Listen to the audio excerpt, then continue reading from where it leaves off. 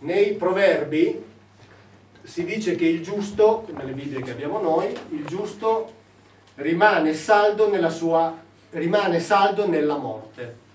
Questa è una, ehm, veramente una sostituzione che è stata fatta perché? Perché a un certo punto la dottrina farisaica doveva introdurre il discorso della resurrezione o comunque di una sopravvivenza dopo la morte, perché i farisei ci credono, i sadducei no.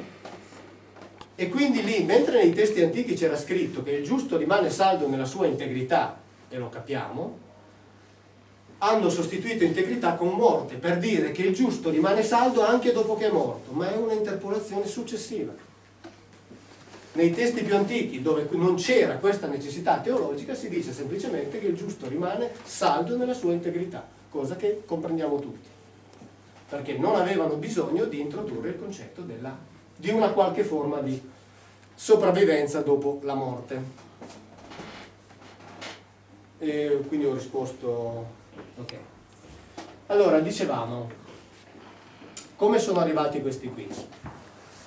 Eh, facciamo così. Adesso chiedo un attimo di spegnere la telecamera.